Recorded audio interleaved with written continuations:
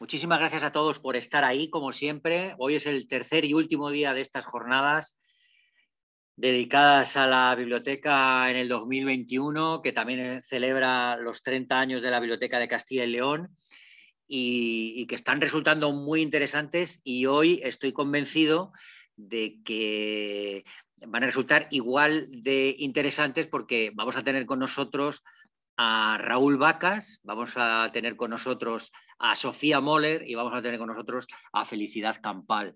Tres primeros espadas eh, que yo estoy convencido de que os van a hacer a todos los bibliotecarios que estáis ahí al otro lado de la pantalla, pues una jornada maravillosa, muy interesante, muy práctica y con la que estoy convencido de que todos vamos a aprender eh, muchísimo, porque al fin y al cabo para esto se hacen las, para esto se hacen las, eh, estas, estas jornadas. sí me gustaría empezar diciendo que ayer hubo algunas preguntas eh, respecto a, un par de comentarios sobre Anairis Simón y nos las ha contestado muy amablemente y yo os las voy a leer aquí, luego las voy a poner también en el chat.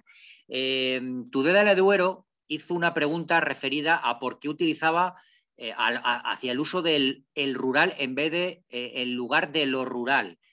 y Anairis lo que nos, lo que, nos, eh, lo que nos dice es que el uso del rural, el lugar de lo rural, eh, no es mío, sino que es una fórmula extendida en los últimos años para referirse al medio rural, omitiendo, omitiendo medio. Ella dice que personalmente es un uso en el que, aunque acabe cayendo, me rechina un poco porque es usado desde la academia y los medios para renovar, modernizar e intentar de algún modo glamurizar, esto lo pone entre comillas, una realidad que siempre ha existido, la del campo español. Esta respuesta la pondré luego ahora mismo en el, en el foro cuando empiece Raúl Vacas. Y eh, también tiene una respuesta para José Luis, que hizo un comentario y le dice, muchas gracias por sus palabras, José Luis, José Luis Sánchez Rodríguez. No podía estar más de acuerdo con las suyas. La biblioteca no solo tiene valor como espacio de preservación de la cultura ya institucionalizada, sino como generadora de cultura. Y ahí entra en juego la memoria colectiva, la capacidad de atender a la intrahistoria a la que se refiere de dar voz a los que nunca la tuvieron y de hacerlos partícipe, partícipes, así de un hecho cultural del que históricamente han sido excluidos. Eh, mucho ánimo con la labor porque es importantísima y un saludo. Así es que, así es que José Luis eh, y la Biblioteca de Tudela de Duero, ahí tenéis vuestras respuestas, las pondré luego en el chat. Y ahora sí, ahora sí, vamos a ir con Raúl Vacas, al que ya tenemos ahí. Eh, Raúl Vacas es em, licenciado en Ciencias de la, Información em, y diplomado en Educación Social. Ha obtenido bastantes premios como, como escritor, como poeta, eh, entre ellos Letras Jóvenes de Castilla y León en los años 96, 97 y 98, con las obras Confieso que he fumado, El calor de los labios a solas y El imán de la muerte. Tiene también el premio de la Academia Castellano-Leonesa de la Poesía con el libro Proceso de Amor, que está editado en la colección Corta al Aire de la Fundación Jorge Guillén y editado por, reeditado por Amarú Ediciones. En 2003 presentó una plaquette titulada Corte y Confección junto con Isabel Castaño, que es, es su mujer y que sé que escribe también bastante bien, pero en este caso es más tímida. Em, em, acaba de publicar em, la quinta edición eh, de, si no me acuerdo mal, Consumir preferentemente, eh, ¿no? Eh, y aparte de esto, eh, Raúl está aquí porque también desempeña labores de edición, animación, gestión cultural, colabora con muchos medios de comunicación, con revistas literarias, eh, entre ellos la Vístera Magazine, y en la actualidad coordina e imparte talleres de escritura creativa con centros de profesores, con bibliotecas, con fundaciones, con academias, con museos, con editoriales. Es una persona eh, multitarea, multifunción, como se dice ahora, pero ante todo es una grandísima persona y por eso está aquí hoy con, hoy con nosotros. Eh, mm, su, texto, su, vamos, no su texto, su, su, charla se titula Si cerca de la biblioteca tenéis un jardín, que es un título eh, atractivísimo que ya, que, ya, eh, que ya de por sí llama la atención. Y él, voy a resumir más o menos, toma prestada esta proposición de Cicerón para según él dice, perfumar el contenido de, su charla.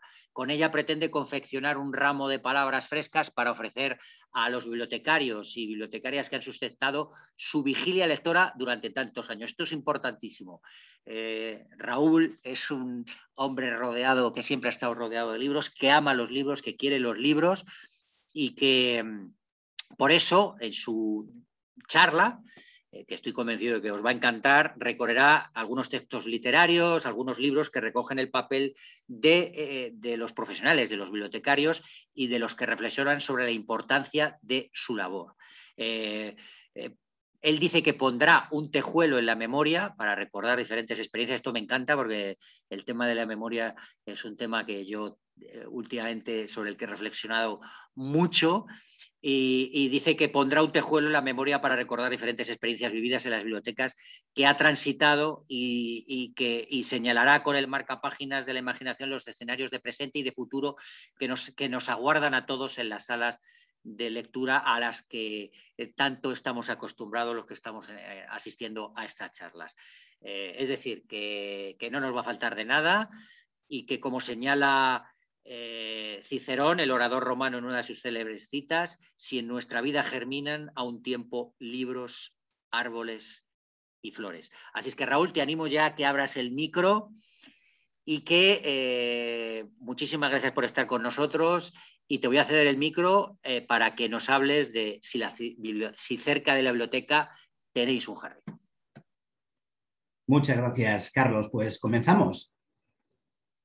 Señor rector, señor decano de la Facultad de Letras, señores cónsules generales, señores profesores, señoras, señoritas, señores, niños, criadas de servir, trabajadores, obreros, gatos y perros, hormigas.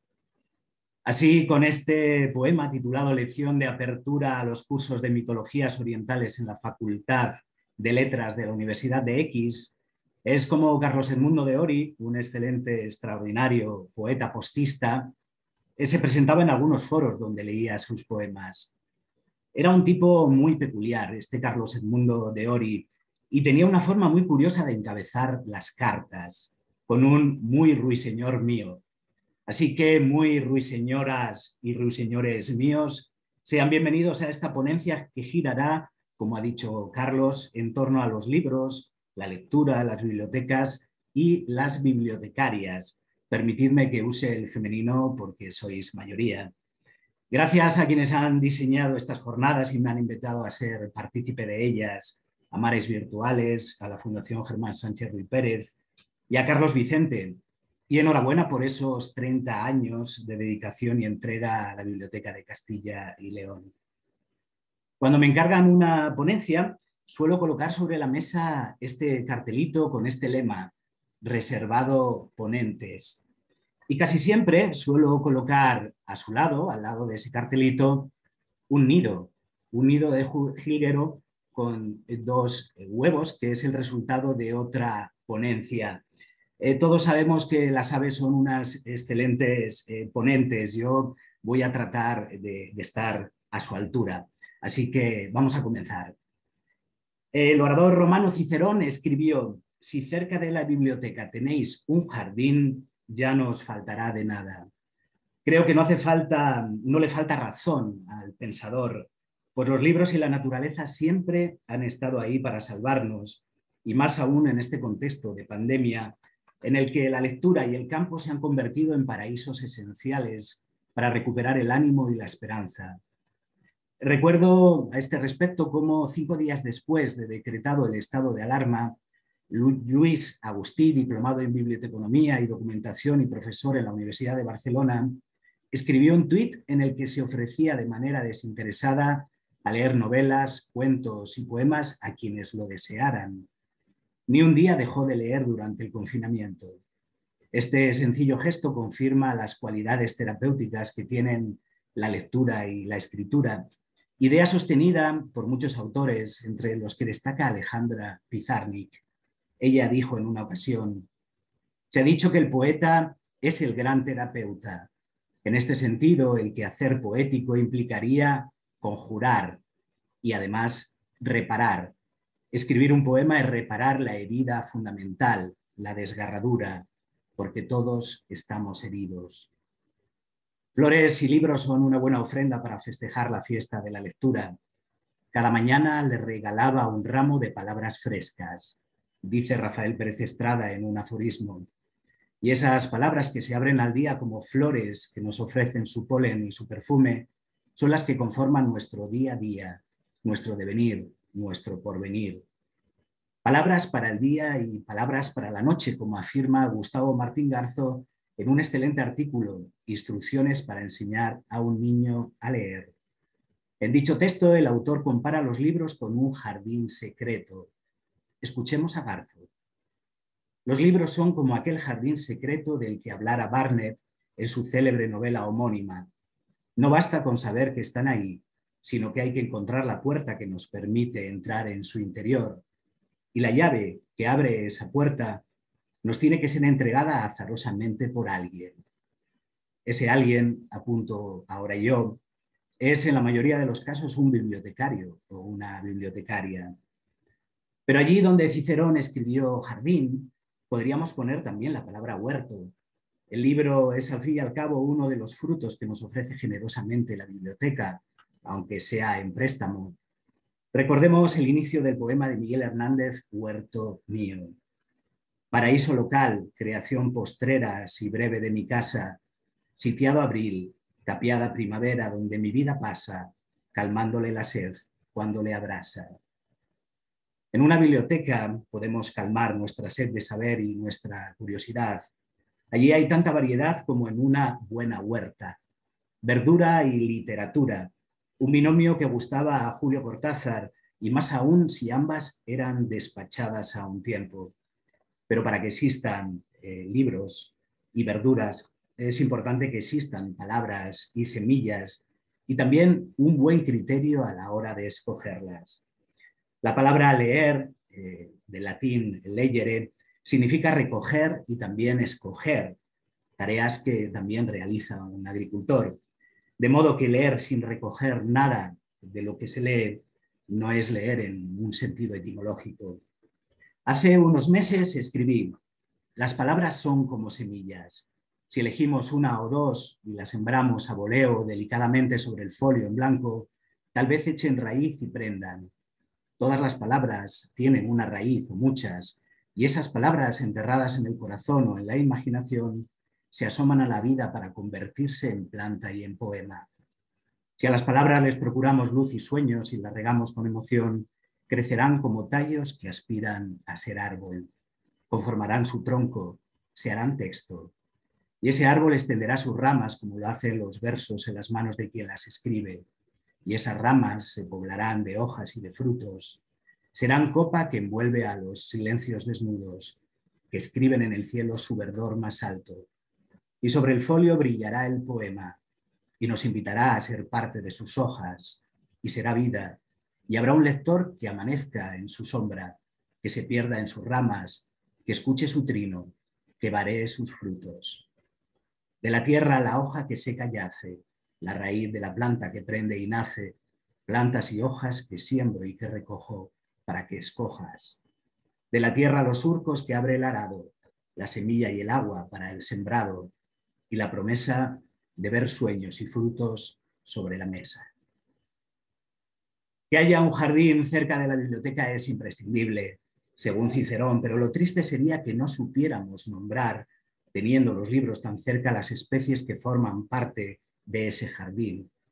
José Ángel Valente escribió un breve texto versionando al poeta japonés Ishikawa Takuboku, un gran autor de tankas. Nos habla en él de unas flores que crecían detrás de la biblioteca. Detrás de la biblioteca de la escuela aparecían en otoño flores amarillas cuyo nombre aún ignoro. Quizá pasando al interior de esa biblioteca escolar hubiéramos encontrado el nombre de esas flores amarillas que no supo nombrar el poeta. CDU, sección 5, Ciencias de la Naturaleza, tal vez narcisos, tal vez tulipanes, lirios, gerberas, rosas, girasoles o querrias, que son unas plantas amarillas japonesas. Si en lugar de amarillas esas flores hubieran sido azules, no habría duda alguna, serían pervincas. ¿Recordáis al ratón poeta Frederick de Leo Lioni cuando le habla del color azul a los otros cuatro ratones? Eh, recordemos el libro Las provisiones para pasar el invierno que recogía Frederick no eran maíz, trigo, nueces. Frederick recogía colores, rayos de sol y palabras. ¿Qué mejor cosecha que esta? Las flores crecen dentro y fuera de los libros, pero también cuando se cortan acaban convirtiendo muchos volúmenes en pequeños herbarios o jardines florales. ¿Recordáis a la señorita Emilia? Es la protagonista de un delicioso y colorista álbum ilustrado. Cuando era niña vivía en una casa con vistas al mar, rodeada de unas flores azules, moradas y de color rosa, llamadas lupinos. Su abuelo le contaba historias de tierras lejanas y animaba en ella su deseo de recorrer el mundo. Cuando sea grande seré maestra y enseñaré en lugares lejanos decía la niña. Y así fue. La niña se convirtió en señorita y se fue a vivir a otras ciudades lejanas, donde trabajó en diferentes escuelas. Un día cumplió la promesa que le hizo a su abuelo, quien le instó a hacer algo para que el mundo fuera más hermoso. La señorita Emilia comenzó a salir todos los días con los bolsillos llenos de semillas, de lupinos, y mientras paseaba las esparcía por los caminos, prados y carreteras. Y así con la llegada de la primavera todo se llenó de flores.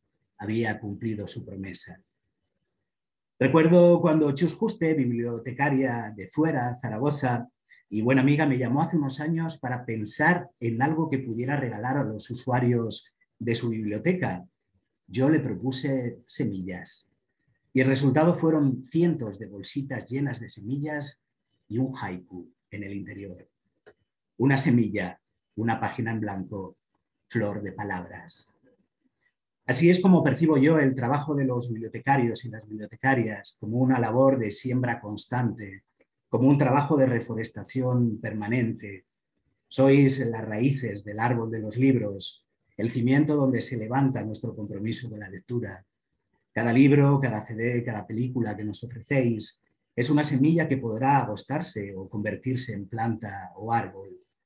Hacer que germine y arraigue depende de nosotros, aunque también del autor o autora elegidos. Voy a arraigar en ti, escribe Ernestina Champurcín en un poema, y todo el que se haya acercado a esta poesía y a esta autora así lo sentirá como un arraigo. Quizá fuera demasiado optimista don Miguel de Unamuno, gran amante de los libros y la naturaleza, cuando escribió, hubo árboles antes de que hubiera libros ¿Y acaso cuando acaben los libros continúen los árboles? Y tal vez llegue la humanidad a un grado de cultura tal que no necesite ya de libros, pero siempre necesitará de árboles.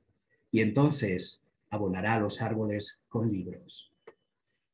Es hermosa esta idea de abonar los árboles con libros, pero hoy más que nunca la humanidad precisa de conocimiento, de libros y de cultura, de cultura segura, no creo en esa distopía de la desaparición de los libros, ya sea por incineración, como en Fahrenheit 451, o como sucede en el libro El árbol de las historias de Eulalia Canal, una historia que arranca con una noticia en la prensa.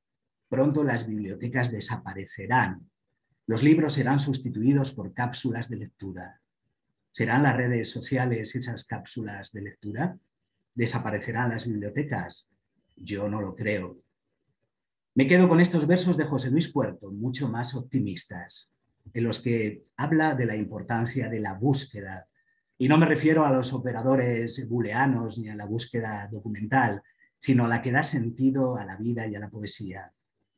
Camino de las raíces, entre luces, entre sombras, río arriba, río arriba, hasta encontrar lo que importa, hasta encontrar la semilla que llevamos y nos nombra, hasta encontrar el jardín, la lengua generadora, la lengua que crea el mundo, la que revela las cosas y la que llama a los seres con sílabas salvadoras.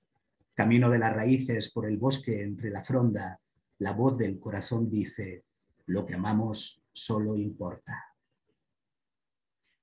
Borges fue aún más allá que Cicerón al imaginar el paraíso como una biblioteca y así vivió de paraíso en paraíso hasta que fue nombrado director de la Biblioteca Nacional de la República Argentina, su paraíso personal, y no porque estuviera hecha con tecnología punta para ese momento, iluminación eléctrica, teléfono, calefacción y el segundo ascensor del país, marca Otis.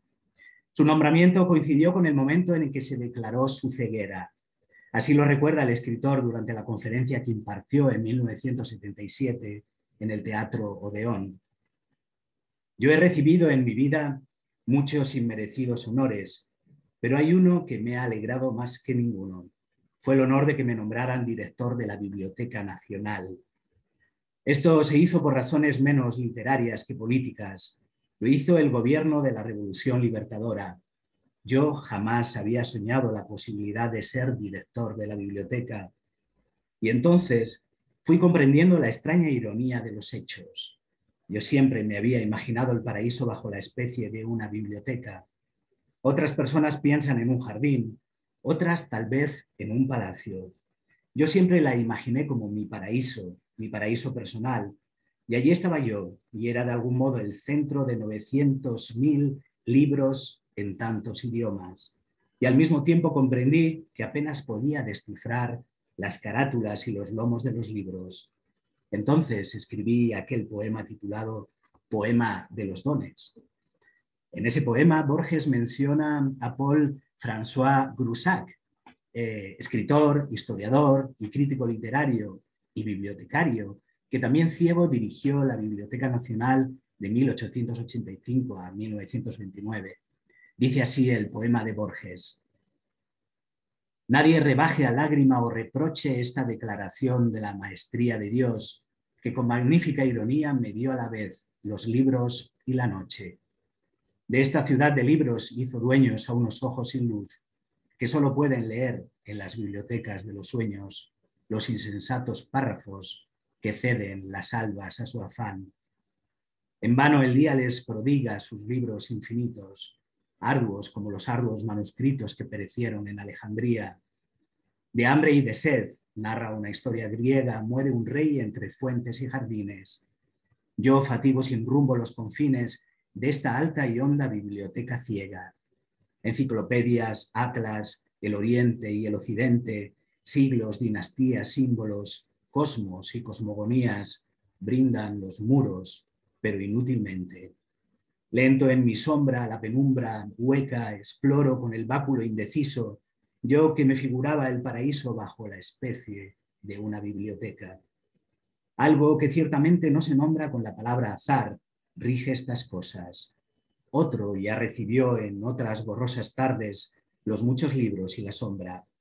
Al errar por las lentas galerías, Suelo sentir con vago horror sagrado que soy el otro, el muerto, que habrá dado los mismos pasos en los mismos días. ¿Cuál de los dos escribe este poema de un yo plural y de una sola sombra? ¿Qué importa la palabra que me nombra si es individuo y uno el anatema? ¿Groussac o Borges? Miro a este querido mundo que se deforma y que se apaga en una pálida ceniza vaga que se parece al sueño y al olvido. Hasta aquí el poema de Borges. Eh, lo que no sabía Borges cuando escribió este poema era que otro poeta ciego, José Mármol, también dirigió la Biblioteca Nacional de 1858 a 1871. El número tres parece cerrar las cosas, dirá Borges. Dos es una mera coincidencia, pero tres ya es una confirmación, una confirmación de orden ternario, una confirmación de algún modo divina. A pesar de esa ironía de Dios o de la vida, Borges fue feliz durante los 18 años que dirigió la biblioteca. María Kodama recuerda que ese nombramiento fue la materialización de un sueño y de ese cuento fascinante que es la biblioteca de Babel. A Borges le gustaba tanto su cargo como director que pensó en establecer su residencia en la biblioteca. Fue su madre la que eh, le disuadió de aquella idea. ¿Se imaginan los argumentos de la mamá de Borges para convencerle de que era una locura? Eh, me encantaría escucharles y que puedan escribir algunos de sus argumentos, aunque sean eh, inventados. ¿Mm? Eh, cuando presentó su renuncia como director, extrañaba tanto la biblioteca que no dejó de caminar a diario desde su casa hasta allí. ¿Mm? La echaba tanto de menos. Pero llegados a este punto del paseo por el jardín o por la biblioteca, habremos de preguntarnos, ¿qué es una biblioteca? Gloria Fuertes, poeta y bibliotecaria, sale a nuestro paso con una respuesta. Una biblioteca es como una segunda casa para las personas que leen libros. En la biblioteca están todos los libros y puedes leerlo gratis. Eh, detrás de una biblioteca se cura la ignorancia. Los libros son para la mente como las tiritas para las heridas. Las bibliotecas son tan importantes que tendrían que estar por todas partes, como las farmacias. De nuevo, el concepto terapéutico de las palabras capaces de suturar las tres heridas de las que hablaba Miguel Hernández en su poema, la del amor, la de la muerte y la de la vida. Recuerdo que cuando era joven encontré en una librería de la ciudad, de Salamanca, este envase que les muestro. Este envase, eh, con el título de Si al mecer las azules campanillas, no es un medicamento al uso, en realidad es un calmante. ¿Y qué encontramos eh, dentro del interior de este envase? Poemas, poemas de Gustavo Adolfo Becker, porque aquí en este envase eh, aparece Laboratorios Gustavo Adolfo Becker. Efectivamente, la poesía puede ser calmante. Eh, también había otros tres envases que la editorial Maeva publicó con formato de medicamentos. Otro era un antigripal con el poema de una nariz eh, de Quevedo. Eh, otro era un ansiolítico y dentro de él había poemas de Fray Luis de León, que descansa la vida, la del que huye del mundanal ruido. Y también otro de los eh, formatos de este libro con forma de caja de medicamentos era un anticonceptivo y dentro podíamos encontrar el romance de Fontefrida. Con esos cuatro envases había una muestra gratuita que les muestro, este colirio con el título que es Poesía. Eh, también de los laboratorios Gustavo Adolfo Becker. Se pueden imaginar qué poema nos encontramos en su interior. ¿Mm? ¿Qué es poesía? Dices cuando clavas tu pupila en mi pupila azul, que es poesía, y tú me lo preguntas, poesía eres tú. Tenemos todos estos envases que nos eh, señalan que la poesía, la literatura, efectivamente puede ser terapéutica. Pero para los alérgicos a la eh, literatura, a la poesía, yo tengo este poema en crema.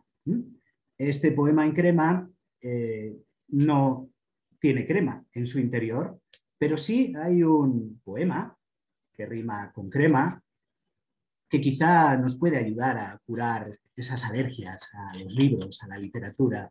Es un poema de la propia Gloria Fuertes que dice que quien me cate se cure. Qué inutilidad ser cualquier profesión discreta.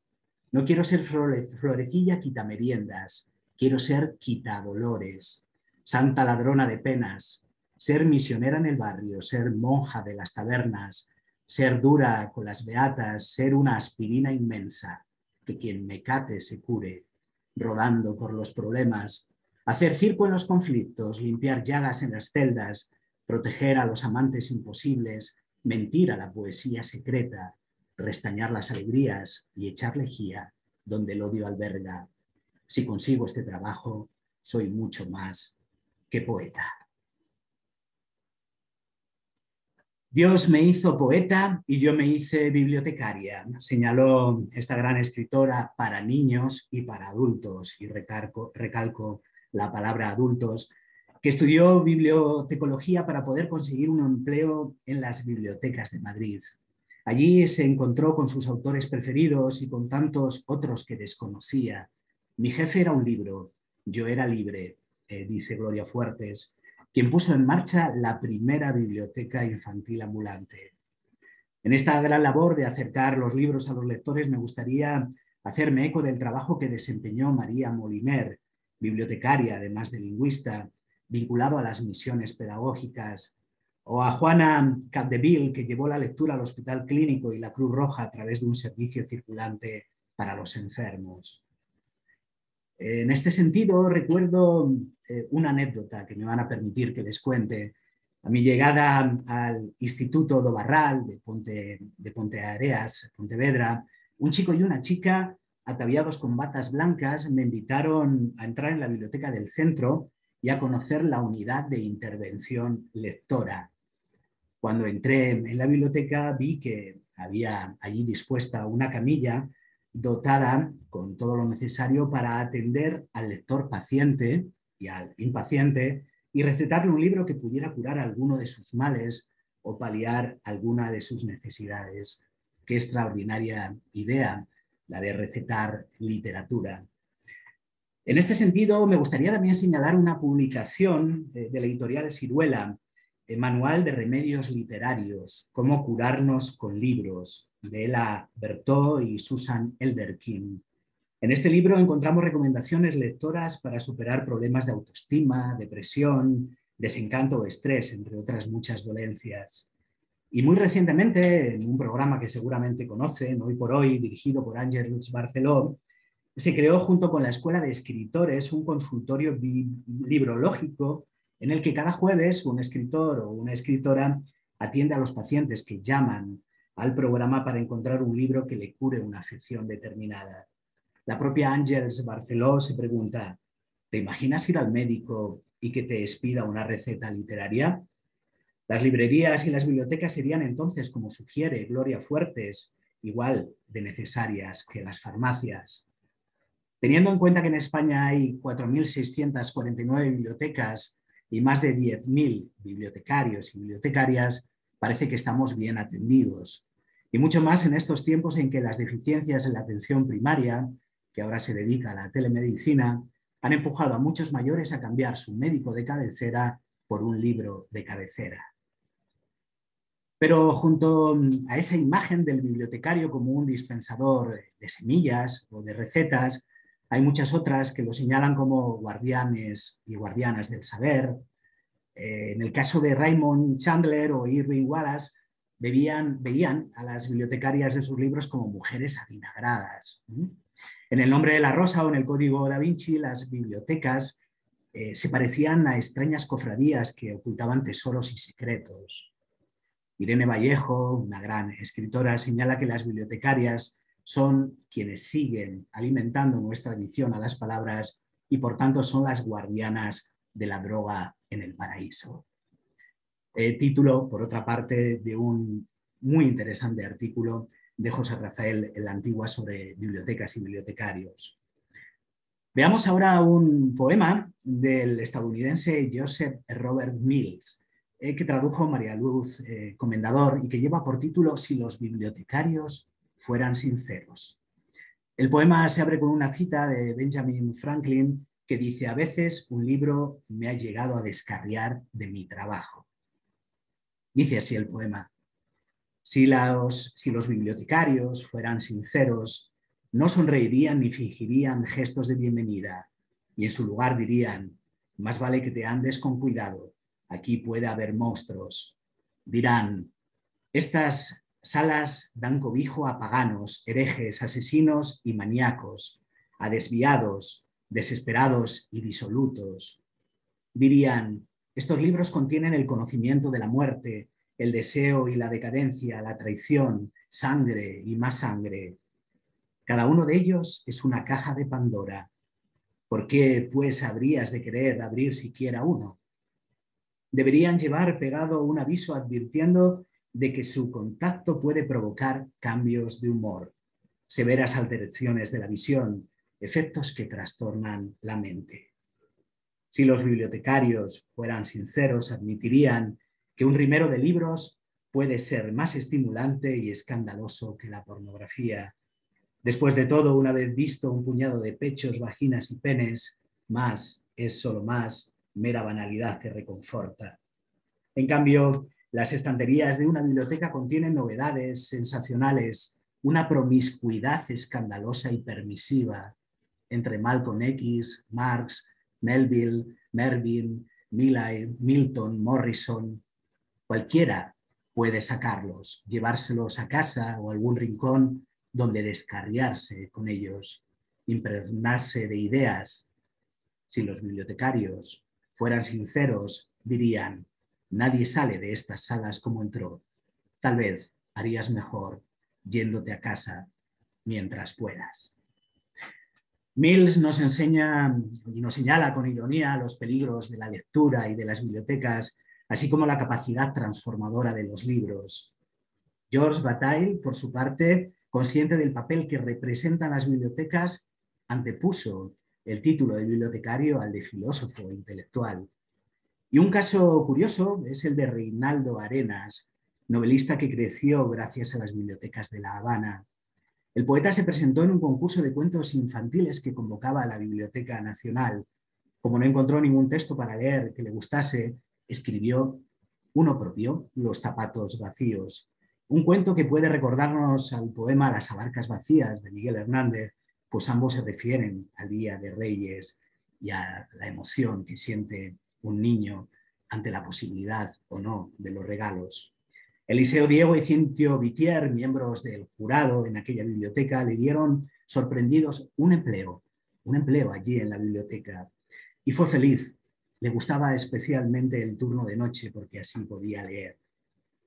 Si alguien me preguntase qué bibliotecario o bibliotecaria me hubiera gustado ser, quizás señalaría a, era Tóstenes, bibliotecario jefe de la Gran Biblioteca de Alejandría, o Stephen King, también bibliotecario, que cultivó la biblioteca de la Universidad de Maine, o a Goethe, que cuidó la biblioteca de una duquesa alemana con 40.000 volúmenes, o a Lewis Carroll, o a Elena Amat, quien fuera directora del Ateneo y de las Bibliotecas Populares de Madrid, o a Concha Fernández Luna, que dedicó su esfuerzo a la promoción de textos infantiles ilustrados, o cualquier bibliotecario o bibliotecaria anónimos que ponen toda su energía y sabiduría en las muchas cosas que ocurren a diario en estos jardines de hojas impresas. Me gustaría referirme brevemente a algunos libros cuyo tema principal son las bibliotecas y bibliotecarias. Esta breve lista es caprichosa, pues son muchos los títulos que abordan dicha temática y que seguro que están en, vuestra cabeza en estos momentos. Reseño brevemente algunos que conozco. Eh, la señora de los libros, de Heather Henson, por ejemplo, publicado en la editorial Juventud. Un libro que recuerda la labor de las bibliotecarias a caballo de Kentucky, que en los años 30 acercaban los libros a zonas donde había pocos colegios y ninguna biblioteca, y que eran conocidas como señoras de los libros. Las bibliotecarias recorrían a lomos de un caballo o una mula muchos kilómetros para que no faltase la lectura en ningún lugar. O también La bibliotecaria de Basora, de Janet Winter, también publicado en la editorial Juventud, libro que nos cuenta la historia de Alia Muhammad Baker, la bibliotecaria de Basora y su lucha por salvar el valioso fondo de la biblioteca durante la invasión de Irak, un libro basado en una historia real y actual.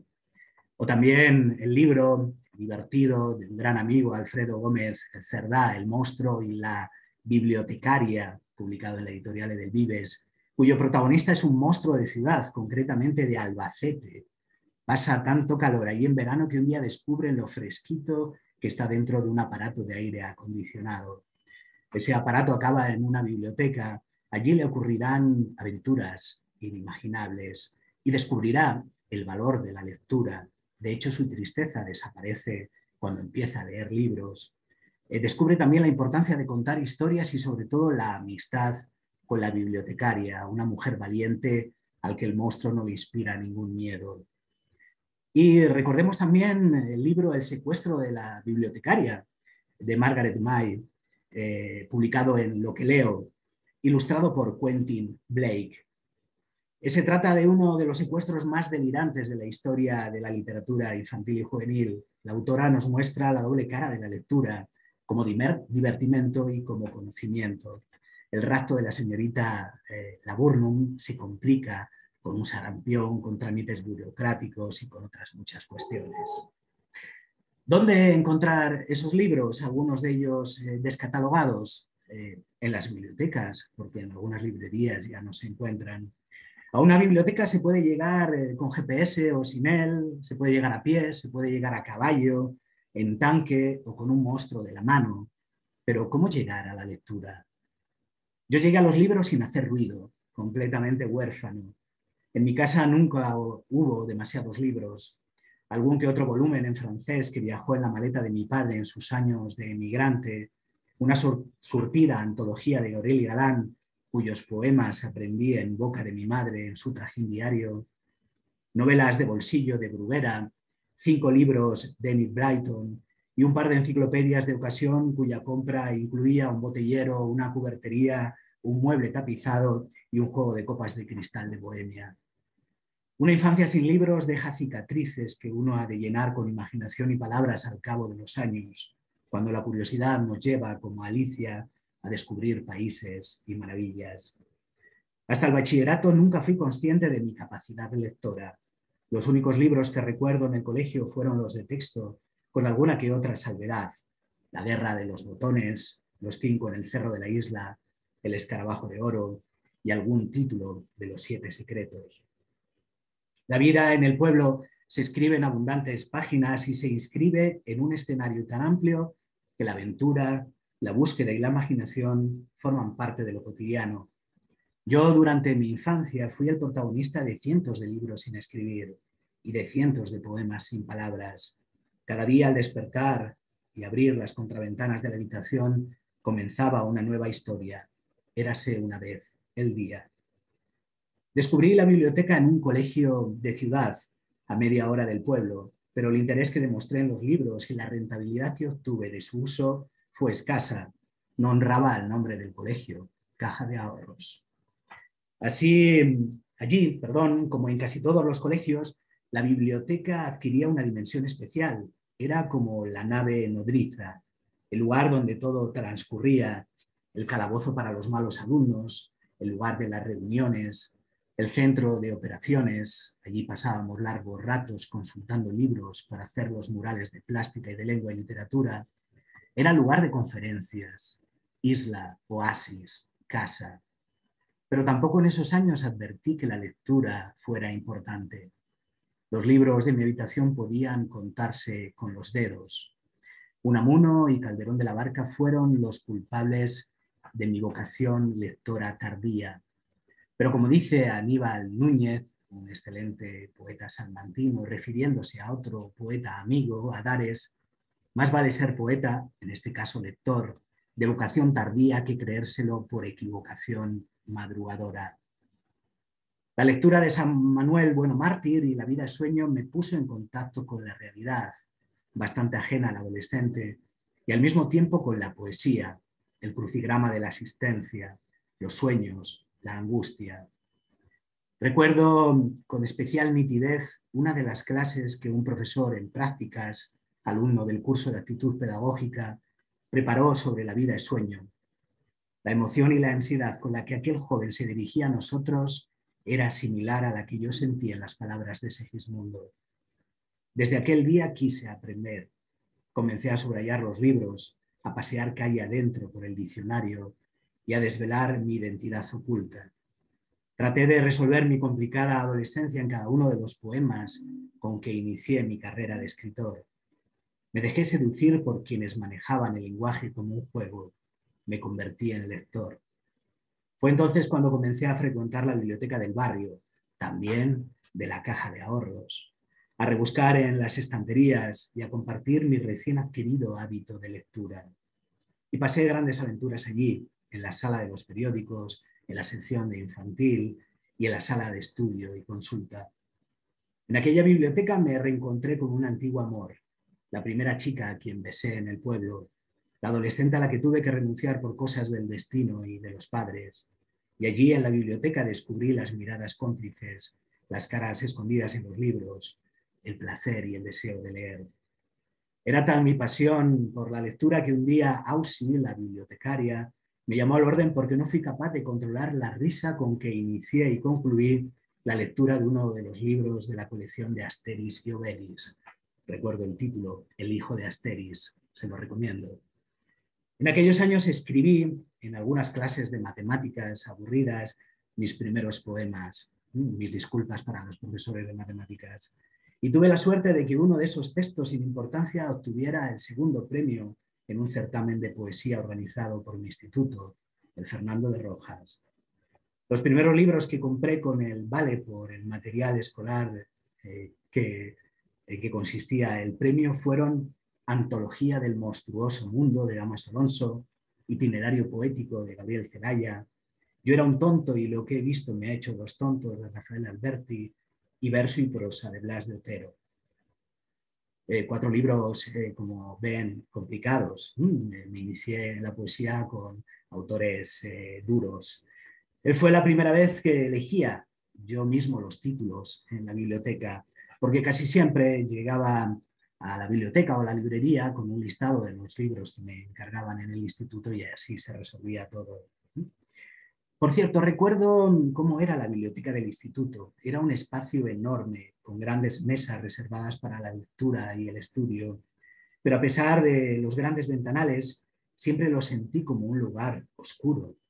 Al fondo, tras un ventanuco de carpintería metálica, estaba Socorro, la bibliotecaria, una mujer eh, seria en apariencia que no permitía ni un ruido en aquel recinto sagrado a donde iban a parar los torpes y los castigados. No recuerdo haber sacado en préstamo muchos libros en aquellos años.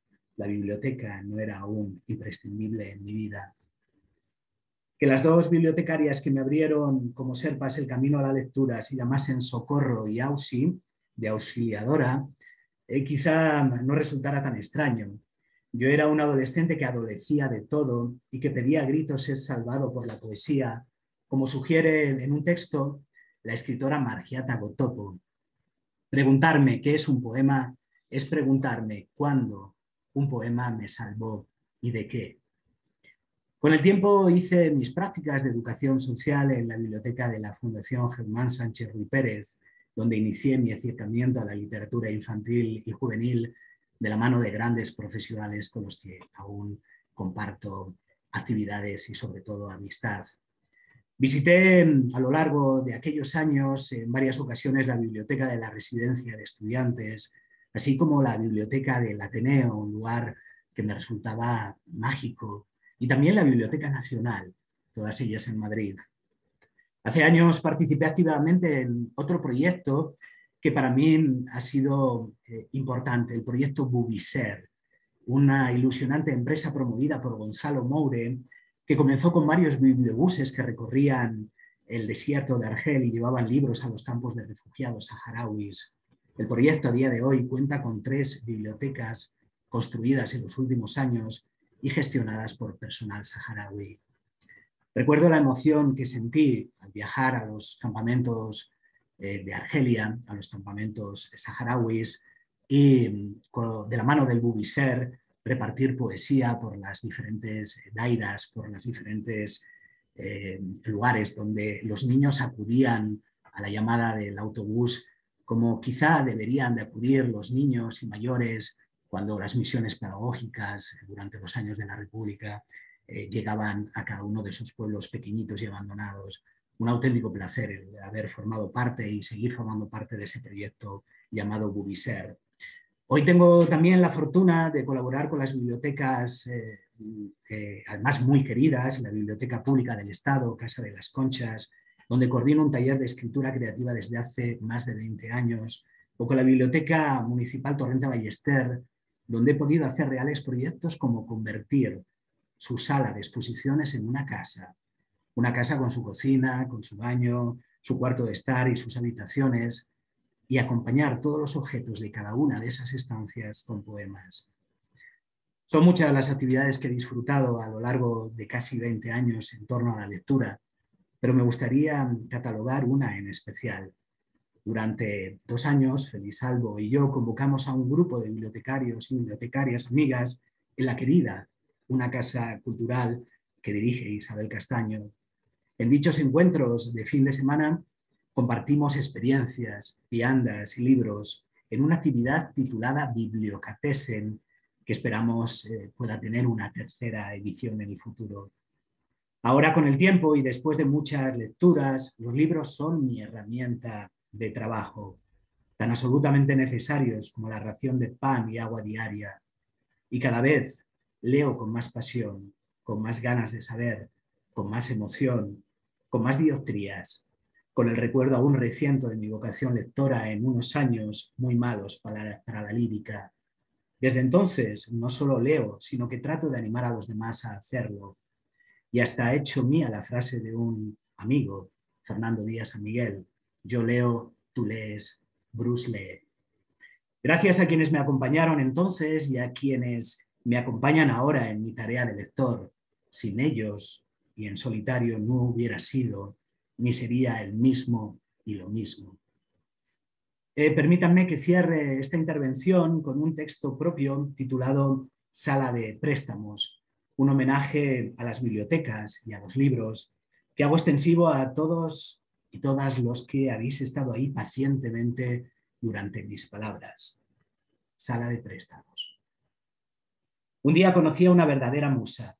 Fue en una biblioteca pública bajo la atenta mirada de la teología. Tal vez se hizo la voluntad de Dios, el Dios que omnipotente y todopoderoso vio un día que todo era bueno y creó a la mujer. Y allí estaba, con todas sus costillas a la brasa, sus ojos perdidos en la trigonometría, sus labios empapados de sandía y su piel, blanca como la luna, encuadernada.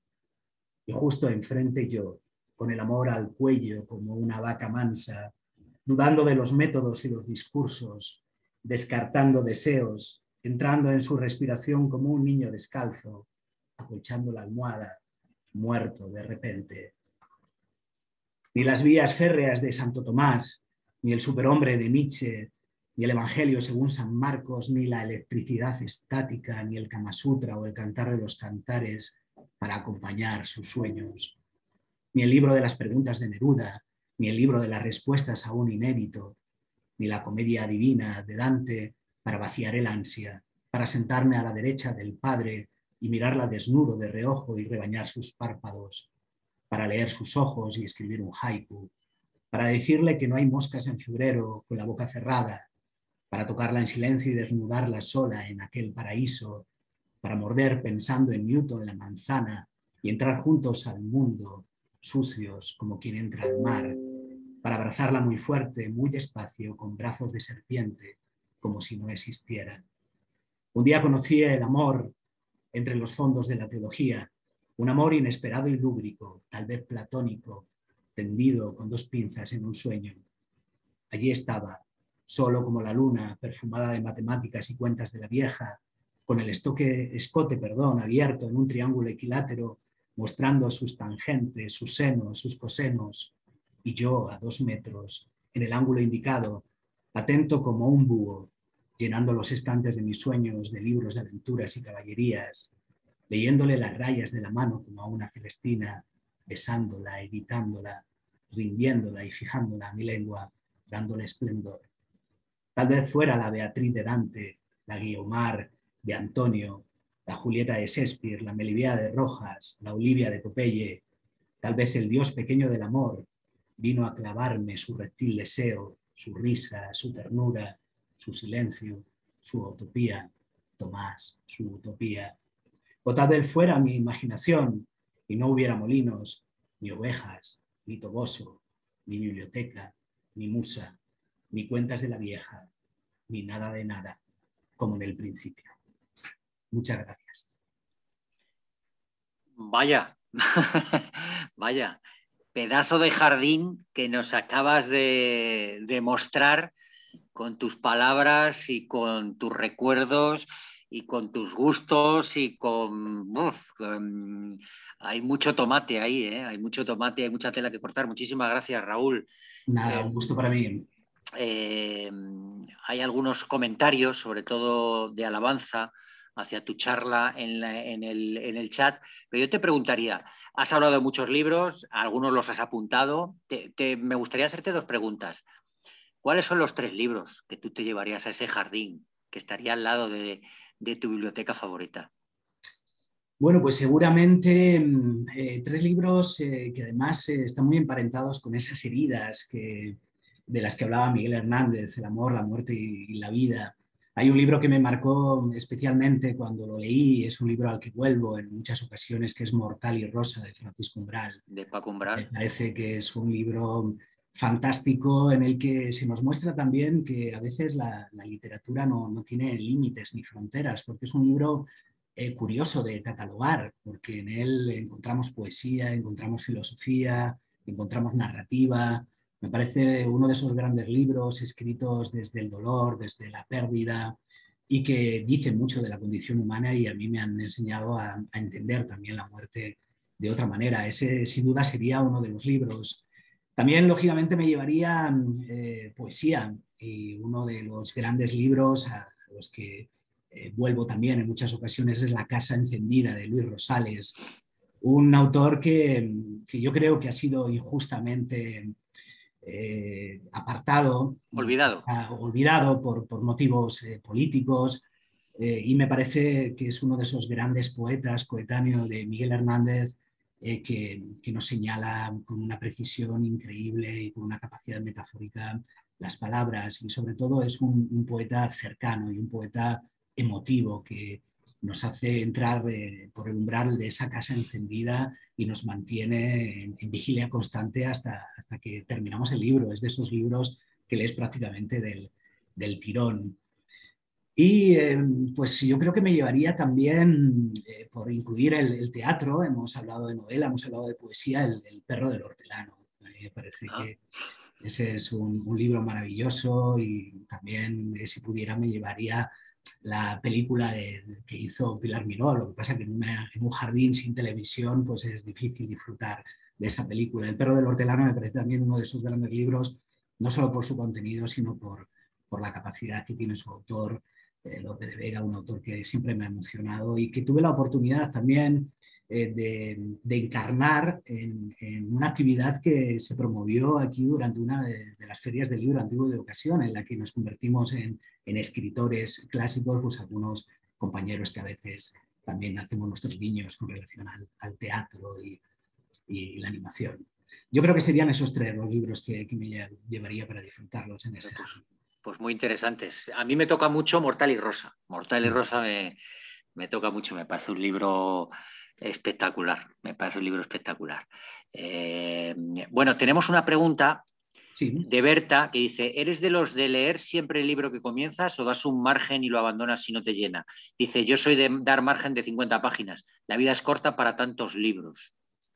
Me parece un margen muy generoso. ¿eh? yo es cierto que, hay libros que si superadas eh, las primeras páginas no me engancha o no me dice nada en ese momento, pues, pues lo aparto un lado. Eso no quiere decir que lo aparte definitivamente, porque yo creo que hay libros que, responden a, momentos y a situaciones y a estados de ánimo incluso a la hora de, leerlos, pero yo no le concedo ese margen tan, tan amplio de tantas páginas. Yo creo que un libro, pues bueno, tiene que eh, procurar... Eh, eh, pues atraparte en, en, las primeras páginas. Recordemos lo que decía Andrés Neumann, eh, en un texto literario en el principio nos jugamos la vida y en el final la resurrección, o sea que, que el inicio tiene que ser tan potente que nos atrape. Darle tanto margen para ver si conectamos con él, si pillamos la cobertura, me parece muy generoso. Eh, podríamos preguntarte cuáles son los tres libros que nunca te llevarías a ese jardín. Pues hombre, sería, sería un poco duro de nombrar aquí autores, autoras, eh, no sé, yo cualquier de, esos libros que, a veces uno leyó por recomendación y casi por, por, obligación, por no quedar mal con un amigo, con quien te lo recomendó, y luego pues no, no fuiste capaz de, disfrutar, pues quizá ese tipo de, libros. O no me llevaría libros vinculados a a, la autoestima o libros... Eh, la autoayuda. La autoayuda, que tienen ahí un vacío informativo muy grande. O nada que tuviera que ver con el, con el coaching. Yo creo que la literatura ya nos ofrece esa posibilidad de, de, gestionar las, las emociones, además desde la profundidad. Bueno, Raúl, ¿y tú qué te dedicas a la animación, a la lectura? Lógicamente, que has estado en institutos, eh, que has estado en, muchos institutos, en muchas bibliotecas que tienen, por supuesto, muchísimo que ver a la hora de, la animación a la, lectura junto con las familias, lógicamente. Yo, soy de los que piensa también que si tú ves en tu casa leer, aunque no fuera este tu caso, como has contado en la, en la charla, pero, pero eso que llevas ganado, ¿no? Eh, mucha gente lleva ganado eso. Pero ¿cómo ves el, el futuro de de la animación a la lectura, de la biblioteca, de, de porque se, bueno, tú lo sabes, se habla muchísimo de que los chavales no leen, de que dejan de leer a determinadas edades, que eso es verdad. Tuve chavales que van a la biblioteca hasta los 14 años, y a los 14 años parece que, parece que desaparecen, se los absorbe un agujero negro y luego a los 25 vuelven otra vez, no se sabe de dónde. Bueno, sí lo sabemos de dónde, pero, pero ¿cómo ves el, el futuro? ¿Cómo crees primero, ¿cómo crees que va a ser el futuro de la animación de la lectura? Y segundo, ¿cómo crees que va a ser el futuro de la biblioteca? Porque eh, durante estos últimos 30 años, ya que estamos celebrando los 30 años de la Biblioteca de Castilla y León, eh, hemos aprendido muchas cosas, ¿no? Hemos aprendido a catalogar, a difundir, a, utilizar la tecnología, a formar usuarios, hemos aprendido lo que es el alfil, lo que es, eh, etcétera, etcétera, etcétera, pero Mm, también ahora tendríamos, tendremos que hablar de cómo va a ser ese, ese futuro. ¿Qué te parece a ti? Bueno, yo creo que, mm, que, ahora vivimos momentos de incertidumbre y esa incertidumbre también eh, llega hasta la puerta misma de, de, las bibliotecas. Ahora pues estamos pendientes de restricciones, estamos pendientes de, de, situaciones que se hacen eh, muy duras para quienes hemos sentido la, la biblioteca como nuestra segunda casa entrar en la biblioteca Torrente Ballester o la Casa de las Conchas, que yo he tenido la oportunidad durante estos meses de pandemia, eh, ha sido una experiencia para mí dolorosísima y muy triste. Ver una biblioteca vacía es como ver un jardín sin, sin, sin, pájaros, sin los usuarios, sin la gente. O sea que, bueno, estamos un poco condicionados también por, por cómo se desarrolle esta pandemia, pero yo quiero ser optimista y, y quiero mm, agarrarme a la esperanza. Yo creo que las bibliotecas han venido a ocupar un papel muy importante en estos últimos años eh, y yo lo he sentido a través de los grupos que coordino en, alguna de ellas. Para ellos la biblioteca es importante, pero todo lo que se genera eh, de, social, de humano entre ellos en ese eh, trato con la biblioteca, pues me parece fundamental y eso pues habremos de, recuperarlo poquito a poco, el volver a ver las bibliotecas pues llenas de, clubes de lectura, llenas de gente, de actividades que, bueno, que, nos mantengan con, esa sensación de, esperanza. En los institutos, pues yo me encuentro con muchos chicos y chicas a los que sí les gusta leer, que debería de ser lo normal. Eh, lo triste es que parece que se ha convertido en, normal el, no leer y ejerce mucha presión los que no leen sobre los que leen. Yo me llevo muchas alegrías cuando chicos y chicas me escriben al pasar por, por su instituto pues tratando de, encontrar a alguien con quien comunicarse y con quien hablar del, placer de la lectura y sobre todo de la escritura. Que un adolescente te escriba y, te diga que quiere compartir contigo unos poemas y que solo los ha leído eh, otra lectora eh, que suele coincidir con, la madre, pues, pues para mí es algo muy emocionante saber que hay chicos y chicas que creen en la lectura, que creen en la escritura y yo confío plenamente en, que encontraremos la manera de llegar a ellos. Es cierto que hay unos años en los que eh, las ocupaciones que tienen los adolescentes son otras, pero me parece que, no es irreversible esa situación. O sea, que si eh, esos chicos y chicas que están un poco despistados unos años tuvieron una buena base y unos buenos cimientos lectores, se van a reencontrar más adelante cuando pasen esa edad del pavo con, con los libros y con la posibilidad de leer y de escribir. Yo quiero ser optimista, pero sí que es cierto que vamos a tener que remar todos al, unísono pues, para volver a dar forma a toda esa actividad y a toda esa animación que eh, pues, eh, ocurría en los colegios y los institutos. Ahora hay colegios que, lógicamente, la pandemia son reacios a que haya eh, nada presencial. Ojalá que podamos recuperar esa presencialidad que yo creo que es necesaria. Está bien convivir con, con estos formatos, pero me parece que lo presencial hay que reivindicarlo y tenemos que luchar por, por ello para poder dar forma a ese futuro de las bibliotecas escolares y de, y de la biblioteca en general. Mm, desde la Biblioteca Pública de Zamora eh, preguntan, Raúl, tú que has estado en los campamentos de refugiados saharauis, ¿cómo ves la percepción de los niños hacia la poesía según el entorno en el que viven? pues a mí me parece maravilloso. Eh, yo creo que no solo la poesía, sino la lectura en general, que una de las bibliotecas eh, de esos campos de refugiados se llame El Nido, ya es muy significativo, porque allí se concitan, se juntan niños, adolescentes, mayores para disfrutar no solo de la lectura, sino de las muchas actividades que promueven los bibliotecarios y bibliotecarias saharauis.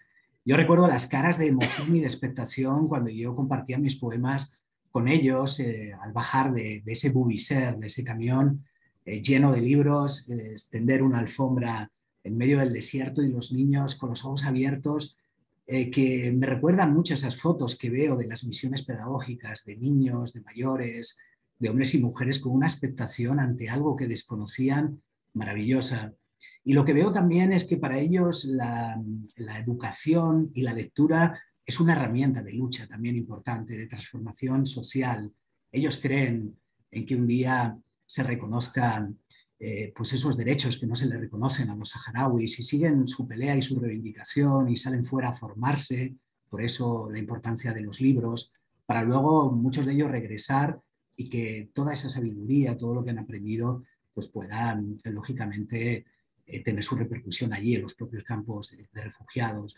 Eh, los niños eh, eh, están deseosos de, poesía en el Sáhara, en, Santander, en Salamanca, en cualquier sitio, pero yo recuerdo aquella experiencia como algo maravilloso, sobre todo por esa atención y ese silencio y esa capacidad de, sorpresa que hay muchos otros niños que han ido perdiendo poquito a poco.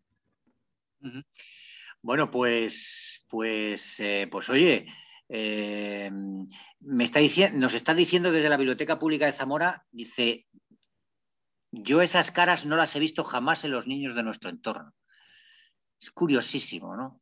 Yo, yo sí que las he visto, sí que las he visto y, además eh, cuando uno trabaja con, niños, sobre todo con, los niños y niñas de cuarto de primaria, que me parece que es una edad maravillosa para, para la poesía, yo sí que me he encontrado con esos ojos expectantes y sobre todo con el agradecimiento de muchos niños y niñas que se acercan a abrazarte al final de la sesión o que te dicen, te vienes mañana a mi cumpleaños, que lo celebro en casa y te invitan como uno más, o que te agradecen por haber tenido un, rato maravilloso.